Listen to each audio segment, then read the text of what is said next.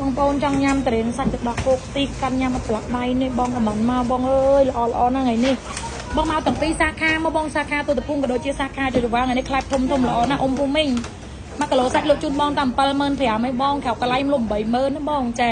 ឈ្មោះអូនណាចង់បានតរៀនល្អតរៀនឆ្ងាញ់បងជើញកំងយកឲ្យបងចាបងណាការកំងយកឲ្យបងណា1គីឡូលោកជូនបងតាម75000 75000ឯអ៊ំពូមីង សាខាទូតពងនៅលើផ្លូវ430កែង432ម្ដងផ្លូវ8ក្រាសាំងតូតាល់ឡើងទៅស្តុបទំនប់ទឹកសាខាទី1សាខាទី2នៅលើផ្លូវ 76A ហួស ABA ខ្ទង់ប្រហែលជា100ម៉ែត្របង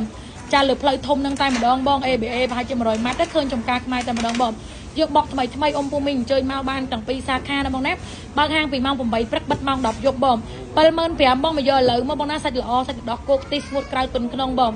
ចាបងអើយខ្លែបល្អល្អណាថ្ងៃនេះឆ្ងាញ់ជាងរាល់ដងរាល់ដងរៀងថយគុណភាពថ្ងៃនេះគឺ the best មែនតើបងណាចា perfect ហ្មងបងសម្រាប់ថ្ងៃនេះបងណា perfect ទាំងអស់អរគុណ